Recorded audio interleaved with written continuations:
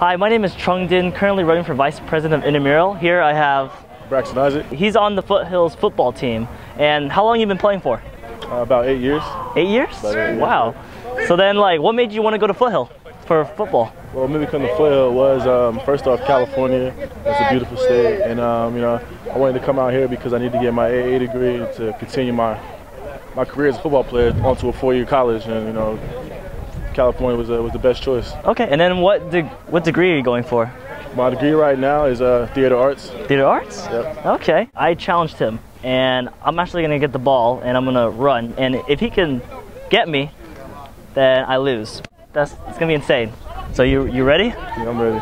Okay, let's do this.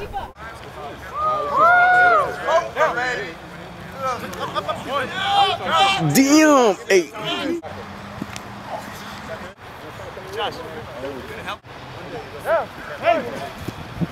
Where'd he go? Oh shoot! Braxton Isaac, and I approve this message. Yo, Trung, you all right?